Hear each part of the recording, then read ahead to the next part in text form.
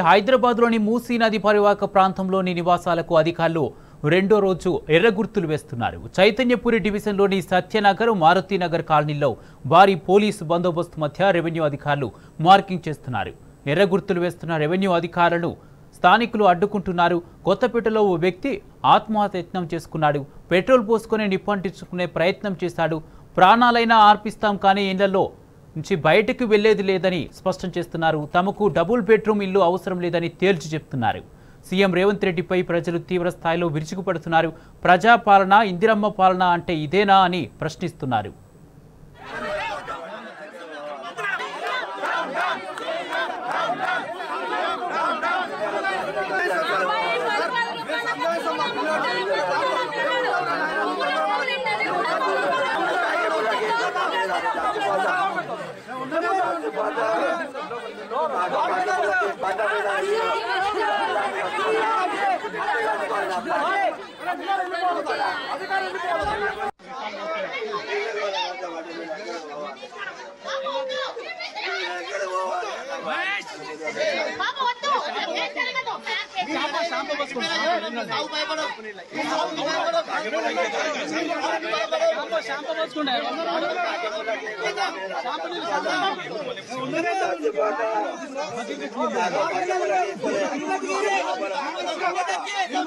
వద్దు ఈడ ఇల్లు కట్టిన అప్పు తీరక వేరే కాడ పని చేసుకుంటా అలా పొట్ట కడుపుకుంటాను నేను పది సంవత్సరాలు అయితే నా భర్త చనిపోయింది కూడా.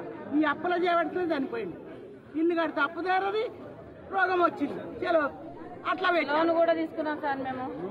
ఆ లోన్ ఎట్ట కట్టుకోవాలి? ఈ కష్టం చేసుకుంటేనే లోన్ కట్టుకునేది. కష్టం చేసుకోవడానికి మమ్మల్ని రోజు ఒకరు వస్తున్నారు ఇక్కడ. ఈడ ఇల్లు కట్టిన అప్పు తీరక ఏరే కాడ పని చేసుకుంటా పొట్ట నేను పది సంవత్సరాలు అయితే కట్టి నా భర్త చనిపోయింది కూడా. ఈ అప్పుల చేయబడుతుంది చనిపోయింది ఇల్లు కడితే అప్పు తీరది రోగం వచ్చింది. చలో అట్లా లోన్ కూడా తీసుకున్నాం సార్ మేము.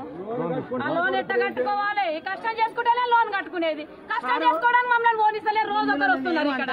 ఈడ ఇల్లు కట్టిన అప్పు తీరక ఏరే కాడ పని చేసుకుంటా అలా పొట్ట కడుపుకుంటాను నేను పది సంవత్సరాలు అయితే నా భర్త చనిపోయింది కూడా.